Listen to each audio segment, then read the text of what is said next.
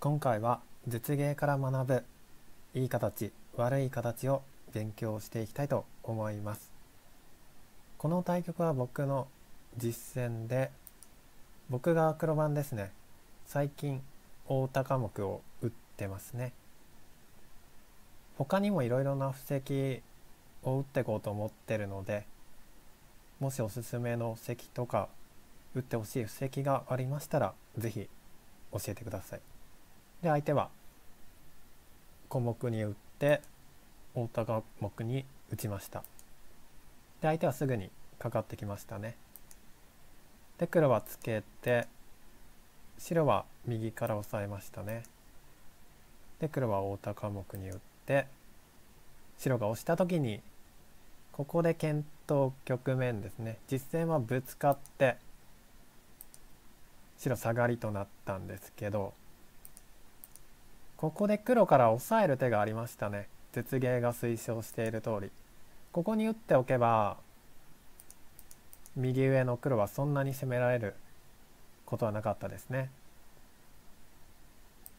この瞬間白は手を抜くんですけど、まあ、もし白がツナいでくれればぶつかってこれはだいぶ右上の黒がゆとりありますよね。なので白としてはできれば跳ね出していきたいんですけどこれは若干白が無理な手で黒から切る手があるんですね。で白は、まあ、例えばね下がる手に対しては黒切り取りを打ってで白としては絞ってくると思うんですけど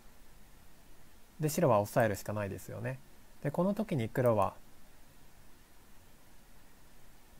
曲がりを打ってオサえる手があるんですよね。白が助かるためには挟みつけるしかないんですけどこれは、まあ、仮に取れたとしても2線をどんどんはわされてしまうのでこれは仮に隅の黒石取れたとしても白はあまり良くないですね。なので下がってくる手は黒怖くないので白としては張っていくことになりますね。で黒は伸びる一手でで先ほどと同じように例えば白がねここで下がりを利かしてくればこれは押さえていてで白は当てを打ってで取りに行くならつなぎですよね。で黒は押さえてここで置く手がありますね。で白としては内側から押さえるよりなくて他の手だと取られてしまうのでここに押さえるよりないですね。で黒はオサえてで白は隅跳ねてで黒2目当てて。でここで白が継ぐことができないのでこの形は白取りとなって黒抜きとなって白抜きとなるのでこれは黒が先手取れるのでこの図は黒が不満のない図ですね。白は隅の地取ったんですけどこの局面ではまだ大きいところがいっぱいあるので先手取れることが大きいですね。まあ締まりとか打ってもね。なので白としてはまた伸びていくことになりますね。でここで黒切り取りぐらいに隅手戻しておけばまあこれはこの戦いはまだ白切りの断点もありますし上辺の白石もそれほど強い形ではないのでこれは黒がやれる戦いでしたね。まあ、なので白が押してきた時は隅跳ねていく手が最善でしたね。黒ぶつかりは若干甘い手ですね。白下がりとかあって。ま上辺開きぐらいが相場だと思うんですけどちょっと絶芸に聞いてみましょうか。ただ実戦は手を抜いたんですけど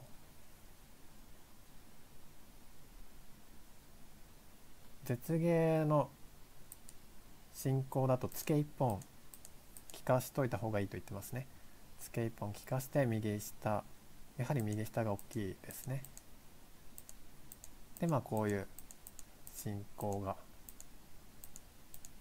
予想されるみたいなこと言ってますね。つけていって。ただ実戦は手を抜きました。左下かかっていったんですけど右下の方が多分大きかったですね。細かいところなんですけど。で実戦は手を抜いて白挟んできたんですよね。これ厳しい発想で。でここで黒爪を打ったんですけど実戦は。ここに爪を打ったんですけど最善手ではなかったみたいですね、まあ、どういうことかというとこれ打ってしまうと飛びと変わるのでで実戦調子で肩つきで調子で脱出したつもりだったんですけど詰めてしまうと絶対に飛びと変わってしまうので右上の黒が相対的に弱くなるんですよね。なので絶芸の推奨としてはハサミを打たない方が良かったみたいですね。絶芸としてはやはりこのツケを利かすのがいい手でで引きと変わってここで手を抜くのが良かったみたいですね。で爪打ってないことによってこの右上の黒がそんなに攻められる石ではないんですよね。白の飛びがまだ来てないので。なので足早に右下打つのが良かったみたいですね。絶芸としてはツケを1本打ってから右下打つのが良かったみたいですねで白飛びとなった時に黒飛んででここで白かかって両がかりみたいな展開が鉄芸の推奨してる手順でしたね。なので上辺のハサミは急ぐところではなかったみたいですね。まあ、例えば白がここでかかってくれれば隅しまっとけばいいですしまだね上辺は一応攻めが狙える狙えるしその締まりが大きいんですよねとにかく。AI の評価としては。なので足早にこう打ってた方が良かったみたいですね。これかなり勉強になる発想でした。このハサミが最善ではないっていうのこの挟む一手だと人間だと思っちゃうんですけどやはりこの手が最善ではないないというのがかなり衝撃的でしたね。で実戦は肩を打ってここで押していきました。で白を受けてさらに押していきました。でちょっとね押しがちょっとやりすぎてしまって白にここに急所に打たれてしまったんですよね。ここで黒としてはぐずめばつながってるんですけどこの手は形が悪すぎて打つわけにはいかないのでここでちょっと黒がね困ってしまったんですよね。まあ、すぐにはどう打てばいいか分からなくなってしまってなので黒としてはここですねここで押しがちょっとやりすぎで急所に白から打たれないために一手守っておくのが立派な手でしたね。これでこれで黒石が強い石で白の2子弱い石なのでこれで黒が十分戦える形でしたね。こう打ってて黒が何も不満がなかったと思います。実戦ここに押したのは結構頑張った手なんですけどやはりこの手が相当厳しい手なんですよね。実戦つけていったんですけどここでは黒としてはここに一見に飛ぶ手があったみたいですねで例えば白がですね、まあ、跳ね出していきたいんですけどこの跳ね出しには黒から一応付け越す手があるんですよね。で例えば抱えてくれれば主張がどうなのかというとこの時にちょうど黒石が当たるので主張では取れてないんですよね。主張では取れてないんですけど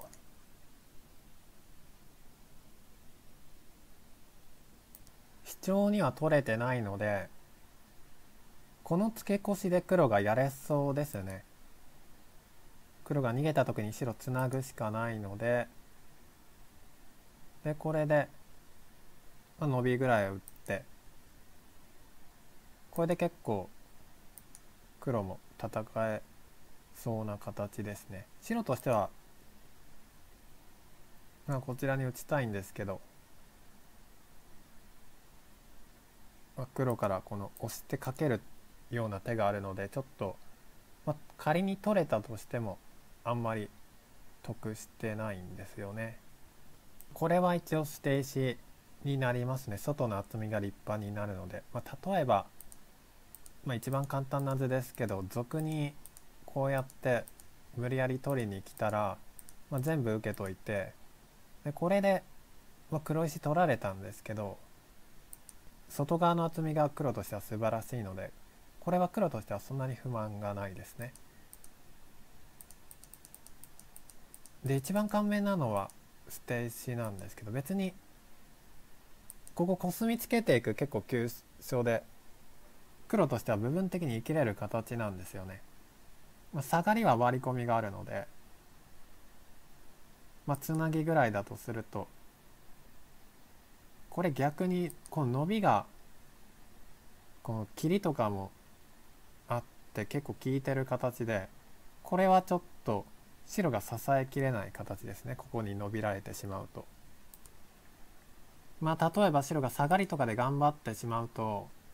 まあ、これは切りを打ってから桂馬にする手があってこれで種石の白5子がかかってますね。これで逃げ出せない形ですね。まあ、例えば俗に行ったとしても押さえていて攻め合いは黒が勝ってますね当たりを打って外から打ってこれで白あと1手なので攻め合い黒が勝ってる形なのでなのでこの桂馬が手筋で白種石5子かかってる形ですねでなので白はどこかつながないといけないんですけどつなぎか、まあ、ここういう曲がりのような手を打たないといけないんですけどこれはちょっと跳ね継ぎで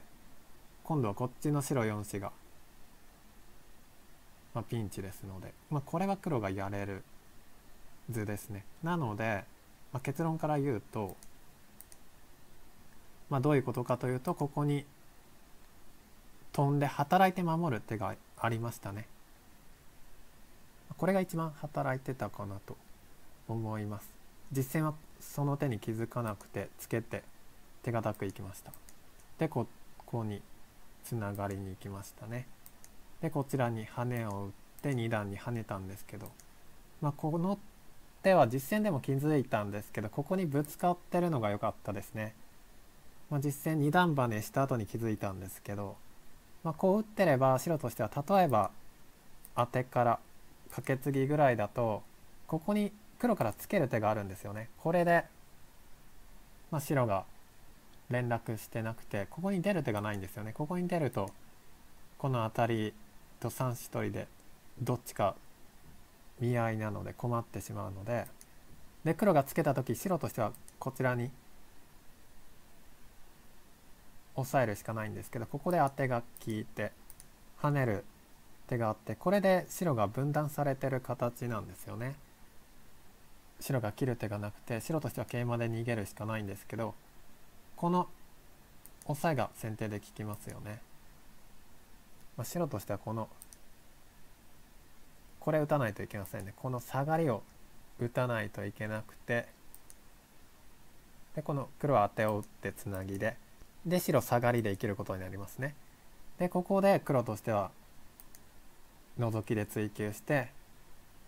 で白がつながった時に跳ねていって。でこれで白が弱いしね2つできてしまうのでで隅の生き方も小さな生き方なのでこれは黒弱いしこの石だけなのでまあなんとかなる形なのでこれは黒がだいぶやれる形でしたね。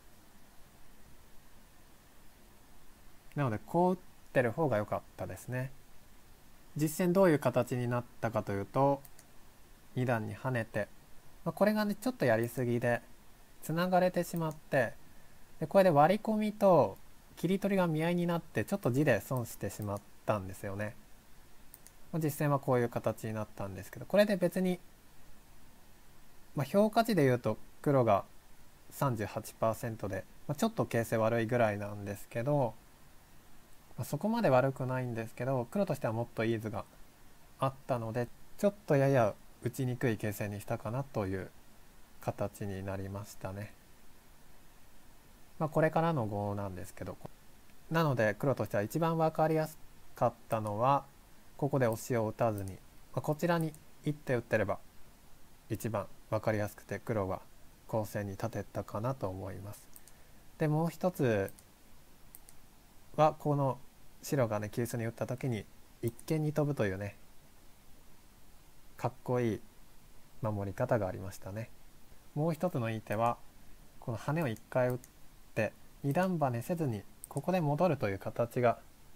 一応ありましたね。なので黒としては整形する手筋を3回も逃してちょっと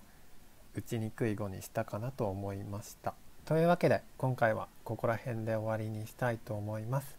ご視聴ありがとうございました。